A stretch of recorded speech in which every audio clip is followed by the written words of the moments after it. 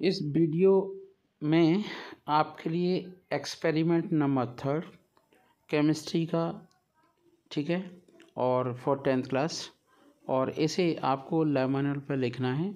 दो एक्सपेरिमेंट मैंने पहले ही अपलोड कर दिए हैं, और उन दोनों एक्सपेरिमेंट के जो भी लिंक्स हैं, मैं इस वीडियो के डिस्क्रिप्शन बॉक्स में दे रहा हूँ।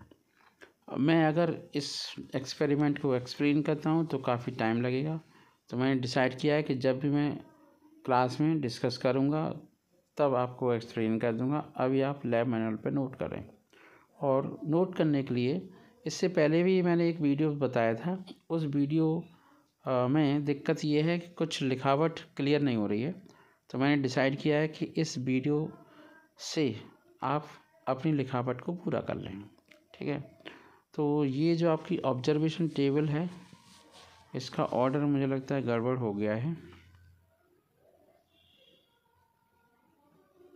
अभी देखता हूँ। तो ऑर्डर सही कर लें। ऑर्डर सही करने के लिए प्रिकॉशंस बाद में आएँगे। रिज़ल्ट और प्रिकॉशन आएँगे बाद में।